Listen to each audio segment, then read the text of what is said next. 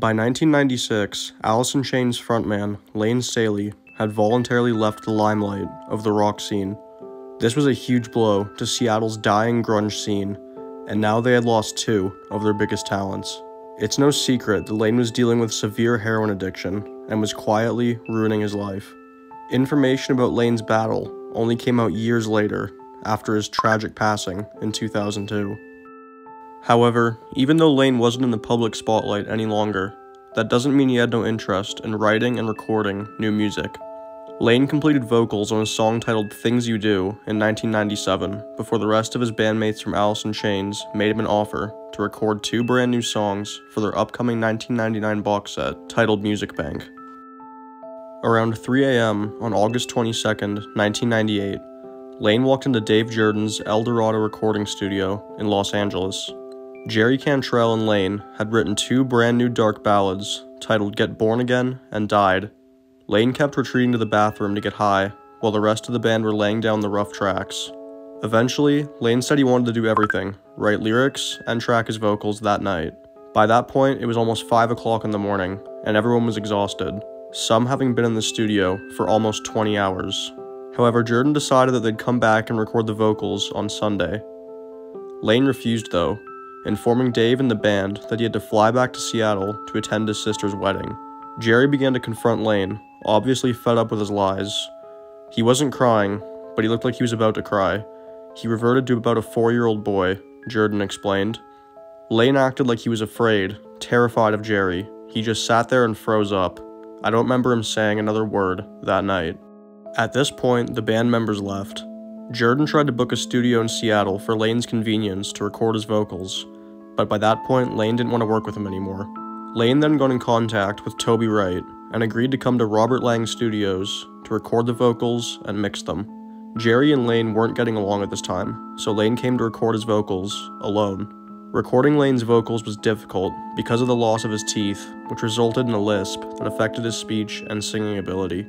Consequently, they tried to stay away from lyrics that accentuated his lisp. The band finally finished the recordings, and this would be the last project Alice in Chains would release with Layne Staley as their vocalist. The first track recorded, Get Born Again, opens with a memorable guitar riff accompanied by Layne's painfully tragic vocals. In this song, Staley addresses fair weather friends who try to wish away the lies. He wouldn't say who he had in mind, but in an interview with radio program Rockline in July 1999, Staley said the inspiration for the song was religious hypocrisy. The second song recorded was titled Died, and this song is arguably the darkest Alice in Chains song recorded.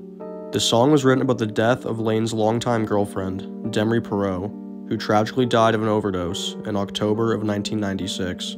This event basically marked the end of Layne's care and ambition for living. Layne hauntingly wrote about dying an addict, with lyrics like, Ask around to find out where the junkies applied.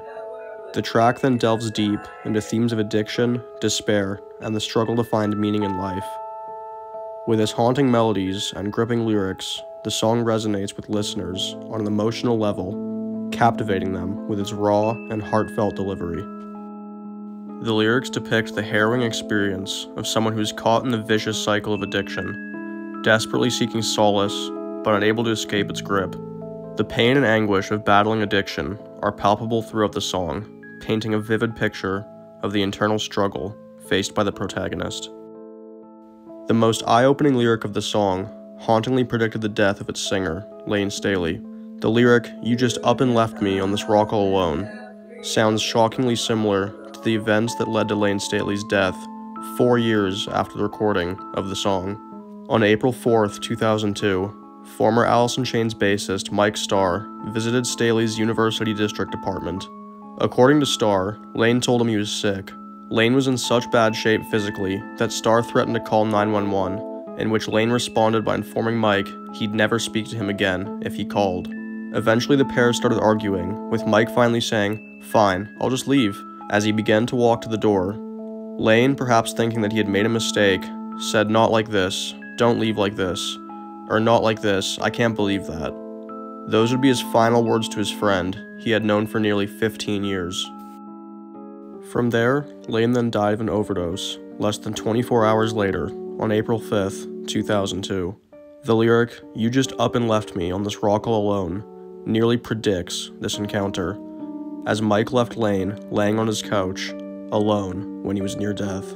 Later in the song, Layne repeats this lyric with a slight difference, singing, Still you leave me rotting on this rock all alone, which also is accurate to Layne's death, as due to him being a recluse, he was left decomposing in his condo for two weeks before being discovered where he was last seen. When I first connected the dots between the song's lyrics and the actual details of Layne's death, I felt sick to my stomach. The song's lyrics cast a perfect shadow of Layne's life to a T.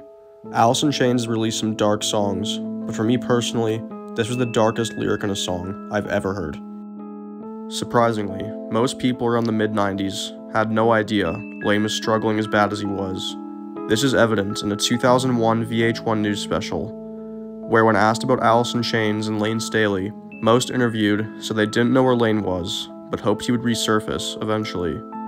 Unfortunately, he never would. Uh, stories about Layne. I mean, there was so much talent there, and drugs that just hurt so many people. I just think there was way too much going on inside that band, and it just kind of, you know, I think it was just an implosion. Let's just hope that uh, Layne emerges again. I don't know what the hell he's doing now, but I'm telling you, he's probably not up to good. Although it's on the darker side, uh, I hope you guys enjoyed this video. Um, I've been taking a little bit of a hiatus from YouTube the last, I don't know, two months. The amount of content that I produced in 2023, and when you do nothing but make content and uh, write scripts and edit, it, it does take a very large toll on your mental well-being and However, I'm still on YouTube. I'm still going to make content when I can, when I have a spare time. When I come up with an idea, I'm still going to make content. Uh, in the meantime, enjoyed all the videos I put out last year and in 2022 as well, uh, and even in 2021. If you guys want to support the channel, uh, my, my Patreon is linked below. There's uh, two videos that are not on YouTube, and I also post uh, early access if I'm doing a documentary video or something of that nature uh, on my Patreon. I'll post a link early, so that's in the description. Uh, thanks for watching this video, guys, and have a good one.